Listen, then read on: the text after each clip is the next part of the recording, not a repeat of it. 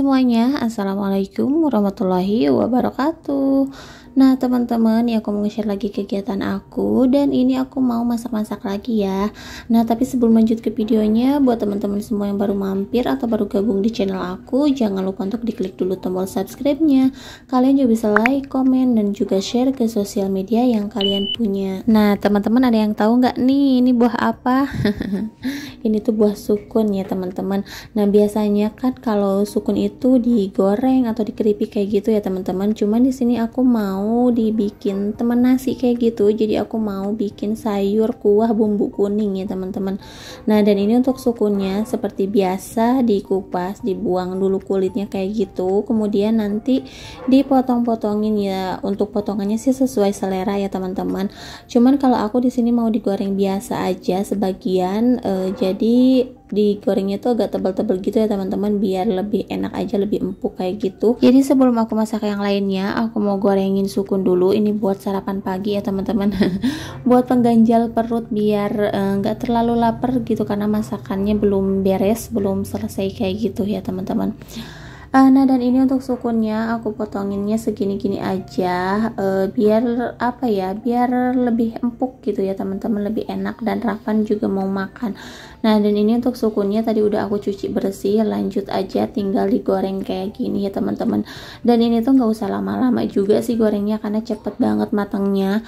Terus ini untuk bumbunya aku cuman pakai masako aja ya teman-teman. Tadi udah aku aduk-aduk udah aku kasih air masakonya. Nah dan aku tuh emang suka banget kalau misalkan bikin keripik atau goreng-gorengan kayak gini tuh uh, pakai bumbu siram ya teman-teman. Itu itu rasanya lebih meresap aja terus lebih gurih kayak gitu.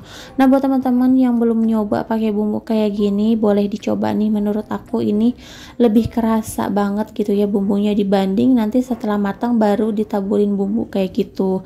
Nah dan ini untuk sukunnya udah matang ya teman-teman. Tinggal disajikan aja. Terus ini juga aku mau masak lagi karena ini sukunnya juga masih ada ya teman-teman. Jadi aku goreng dua kali ya nah dan ini uh, sama aja sih untuk bumbunya tinggal disiramin aja kayak gini Nah, teman-teman pasti udah tahu kan kalau misalkan sukun itu banyak banget manfaatnya. Nah, jadi buah sukun ini selain enak untuk dimakan, uh, dia juga bagus buat apa ya? Katanya sih buat nurunin gula darah gitu, terus untuk menjaga kesehatan jantung juga, untuk kesehatan mata. Terus bisa juga buat ngurangin peradangan gitu ya, teman-teman. Nah, dan yang lebih penting ini tuh bagus banget kalau misalkan teman-teman lagi program atau proses apa ya, diet kayak gitu ya, teman-teman.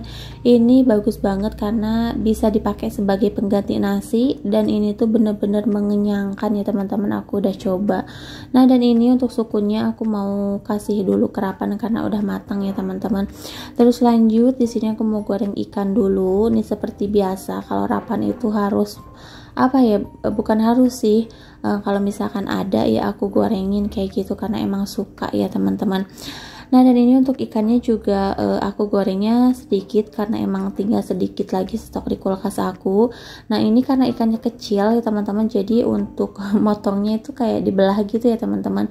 Uh, digorengnya tuh kayak kering banget gitu. Nah dan ini bisa dimakan sama tulang-tulangnya teman-teman atau sama durinya gitu.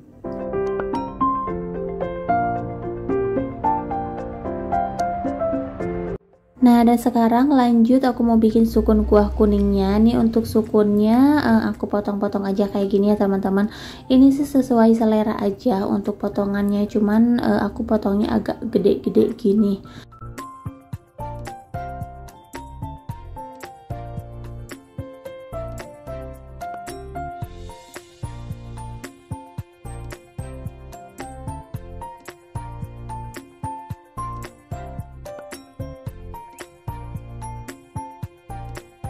Nah dan ini aku beli sayuran buat Ravan ya teman-teman karena kalau sukun takutnya kan nggak suka gitu. Nah di sini ada satu buah tomat, terus ada daun bawang, ada cabai merah sama sawi ya teman-teman, ada wortelnya juga.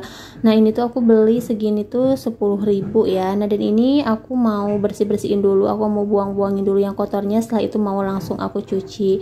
Nah dan untuk wortelnya juga ini uh, seperti biasa ya teman-teman, uh, aku mau bikin sayur wortel sama sawi kayak gitu. Teman teman-teman gimana nih anaknya pada doyan-doyan sayur nggak?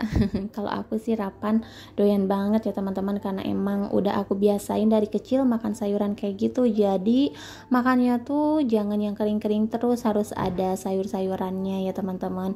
Nah dan ini juga untuk sawi sebenarnya nggak terlalu suka, cuman makin sini makin sini karena sering aku masakin. Jadi alhamdulillah ya teman-teman suka asalkan sawinya tuh masaknya sampai empuk ya.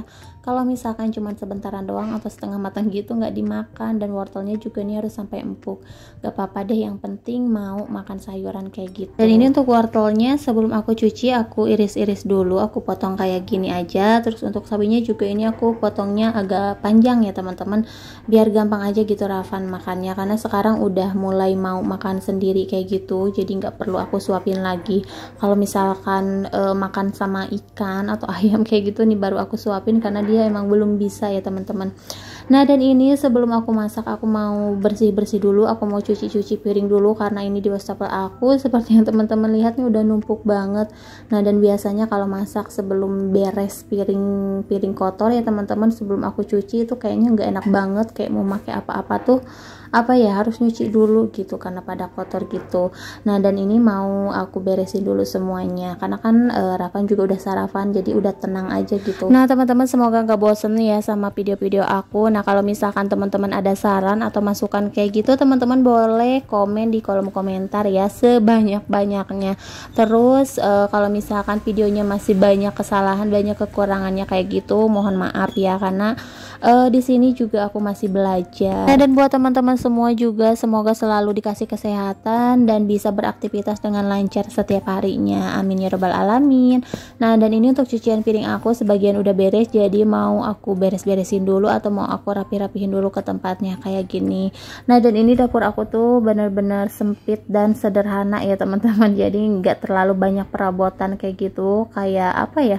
Eh, lemari-lemari uh, atau tempat naruh piring juga aku nggak ada nih aku cuman punya itu aja satu nantilah ya teman-teman nyicil kayak gitu. Terus di sini juga kayaknya aku bingung mau naruhnya di mana karena ini uh, kalau misalkan aku kayak beli lemari lagi kayak gitu nih harus ngebuang meja ini ya teman-teman karena emang sempit banget. Dan ini juga aku mau ngecat dapur belum jadi-jadi ya teman-teman.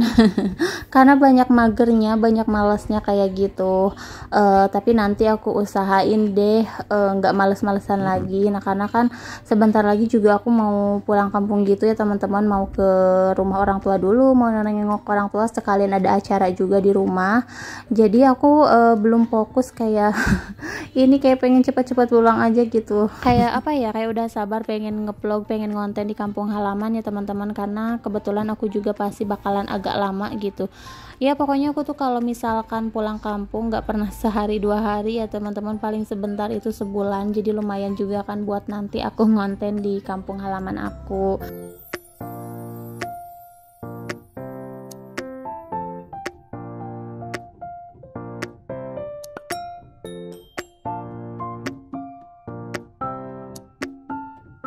dan alhamdulillah ya teman-teman untuk cucian piring aku semua udah beres. Lanjut di sini aku mau nyuci-nyuci sayuran dulu yang mau aku masak. Jadi di sini ada sukunnya. Nih aku cuci sampai bersih. Kemudian aku juga mau nyuci wortel sama sawi dan nanti uh, bumbu-bumbunya kayak gitu mau aku cuci juga biar nanti sekalian ya teman-teman masaknya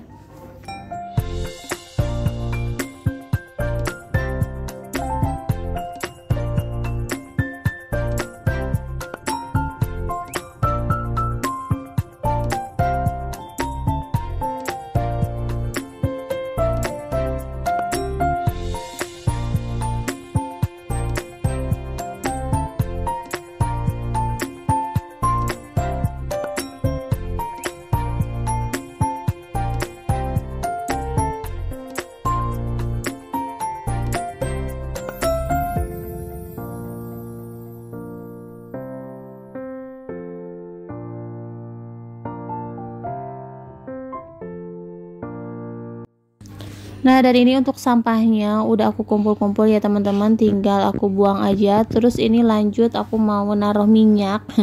Ini tuh sisa tadi penggorengan ikan ya teman-teman. Kalau misalkan aku buang sayang juga gitu. Uh, ini masih lumayan banyak dan ini baru sekali pakai ya teman-teman. Jadi aku taruh aja di tempat kayak gitu. Nah dan ini mau aku cuci dulu sampai bersih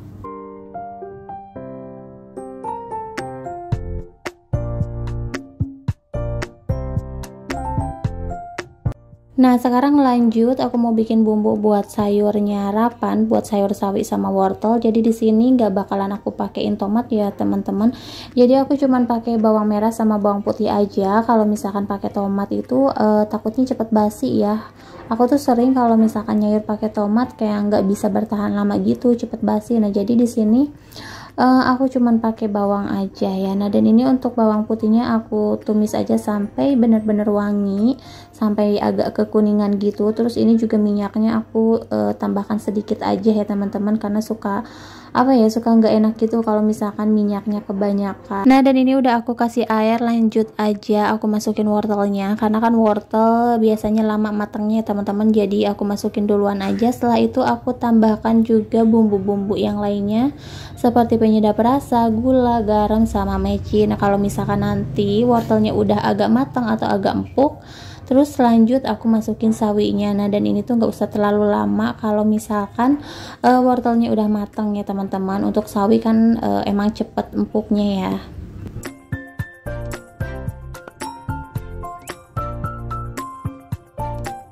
Nah dan ini untuk sayur sawi wortelnya udah jadi ini tinggal disajikan aja kayak gini. Dan Rapan tuh emang bener-bener suka ya teman-teman. Uh, apalagi sama kuahnya gitu. Kalau sama wortelnya sih dia sekarang lagi kurang suka. Nggak seperti kemarin-kemarin. Gak tau kenapa ya dia lagi nggak pengen aja kali Nah dan ini aku mau bikin bumbu ulek untuk uh, sukun ya teman-teman jadi di sini bumbunya aku pakai bawang merah, bawang putih, terus ada cabai juga, ada kemiri, ada ketumbar, merica, pokoknya ini rempah-rempah aku masukin semua ya teman-teman. Terus di sini juga aku tambahkan daun salam, lengkuas sama serai ya. Kalau misalkan semuanya udah halus, terus ini serai sama lengkuasnya udah aku geprek, tinggal ditumis aja.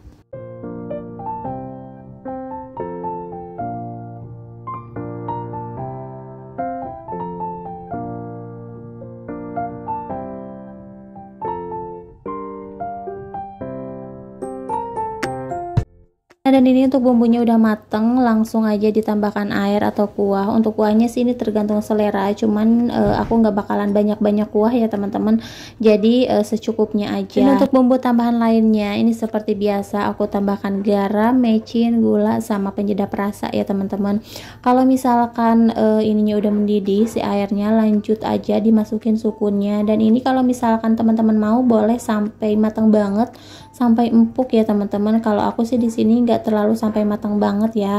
Nah dan ini aku tambahkan juga satu bungkus santan instan atau kara ya teman-teman. Dan jangan lupa untuk diaduk-aduk kayak gini biar apa ya biar karaknya itu atau santannya itu nggak pecah ya teman-teman. Terus aja diaduk terus uh, sampai benar-benar mendidih. Kalau misalkan kurang ada yang kurang-kurang gitu bumbunya tinggal ditambahkan aja. Dan kalau misalkan udah mau mateng ini aku tambahkan daun bawang. Jadi nggak usah lama-lama ya kalau untuk masak daun bawang jadi pas mau matang aja dimasukin kayak gitu. Nah dan alhamdulillah nih untuk sayur sukun bumbu kuningnya udah jadi ini tinggal disajikan aja kayak gini. Dan untuk rasanya ini gak jauh beda sama rasa kentang ya teman-teman. Cuman kalau sukun ini kayak ada serat-seratnya gitu. Tapi kalau digadoin juga ini enak banget ya teman-teman. Gak usah pakai nasi juga tetap kenyang ya. Nah dan ini aku mau lanjut aja beres-beresin kompornya biar gak berminyak ya teman-teman. Mau aku lap-lapin dulu. Nah mungkin sampai di sini dulu video dari aku kali ini. Terima kasih buat teman-teman semua yang udah selalu menonton. Jangan lupa untuk like, comment, and subscribe. Sampai jumpa di video-video selanjutnya. Assalamualaikum warahmatullahi wabarakatuh.